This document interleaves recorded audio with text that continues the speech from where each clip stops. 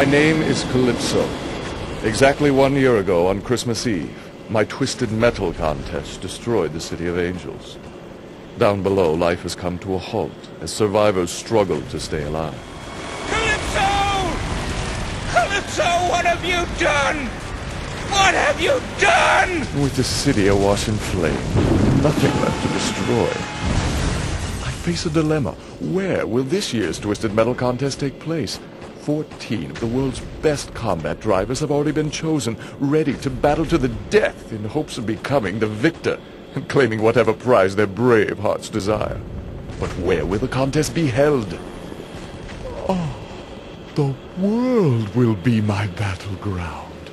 Paris, Hong Kong, even Antarctica. There will be no safe zones this year, no places to hide. In the next 24 hours, the entire world will know my name. They will see my beautiful work of art firsthand. No one will be safe. I promise you that. Good luck, driver. Welcome to Twisted Metal.